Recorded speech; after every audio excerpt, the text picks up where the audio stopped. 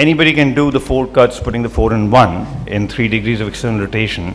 It's not a very difficult task, but there are certain concepts that uh, would be best understood, and uh, things can change uh, what we call as functional alignment today. So you can change things a wee bit if you know these four concepts. So the first concept is the PCO. So what we are trying to do is basically we are resecting bone anteriorly and posteriorly. We are recreating this gap with the implant.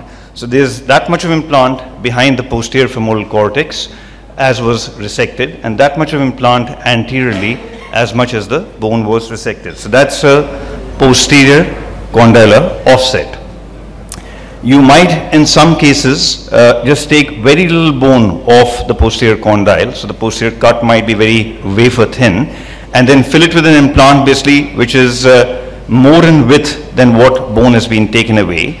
And that increases the posterior bit uh, of the gap. And if you, as all of you know, basically if you increase the posterior bit of the gap, the flexion gap becomes tight, and the flexion gap becomes tight, then you have tight posterior structures, you might end up with a flexion contracture. Sometimes it's useful in an FFD knee, in, a, in a knee with a fixed flexion deformity. In any case, when you start releasing, and you have to be very careful in releasing, you might just jack open the uh, flexion gap, and to fill in this flexion gap and not the extension gap, you can then increase the posterior offset. So as I said, basically if you increase the posterior offset, you're simply filling up the uh, flexion gap and so it does come handy in some cases, but rarely. On the other hand, if you take too much of uh, posterior bone of the femoral condyle, you will not be able to fill that gap. So you'll have a reduced uh, PCO. And this is quite a common situation in which you end up with an increased flexion gap compared to the extension gap, something known as flexion instability. So be wary of how much you take off uh, the posterior condyle.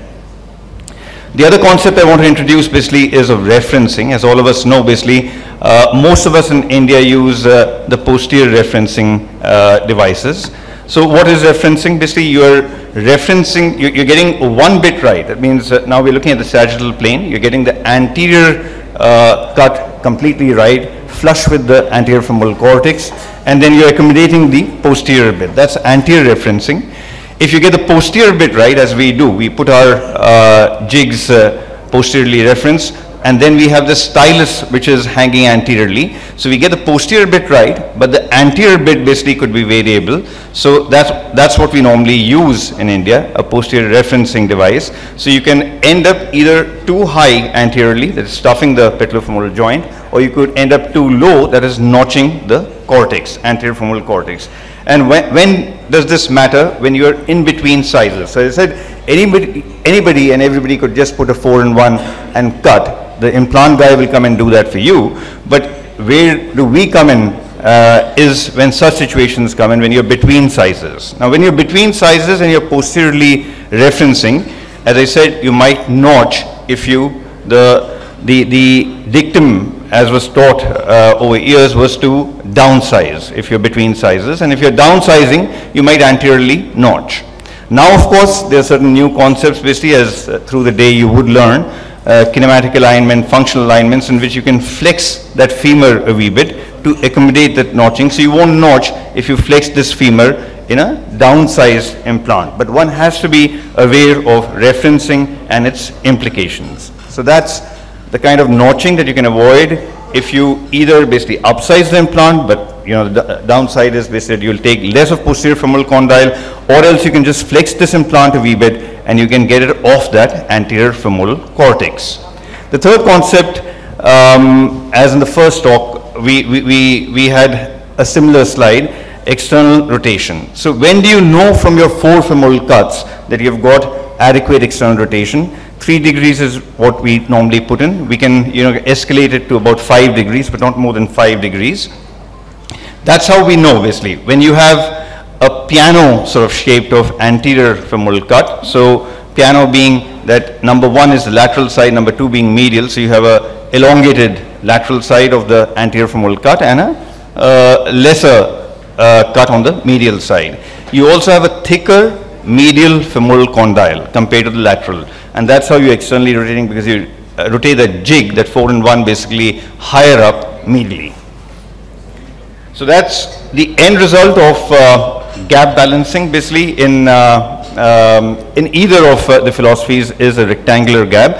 Of course, a rectangular gap in, and that's a correct rotation. That's how you know that your rotation is correct. Uh, of course, these gaps could be, you know, following the mechanical axis uh, theory or the kinematic alignment that again basically through the day we learn. But do not internally rotate beyond a certain point because you you will develop lateral instability in flexion. You might have, I mean, the same knee when you extend will be slightly valgus and you'll have these patellofemoral problems as shown in this diagram. So laterally you'll have a lot of patellofemoral contact pressures. Lastly, flexion and extension of the femoral component. As I said, basically flexion is now acceptable. It wasn't acceptable uh, previously. Flexion is acceptable if you want to avoid notching, especially when you are between sizes. So the correct placement basically, again, these are the four concepts that you must keep in mind. Uh, you must be aware at all times, especially when you are between sizes, or else basically you're not getting these gaps equal. There is something going wrong, and you must be aware of this, and this would sort things out. Thank you very much.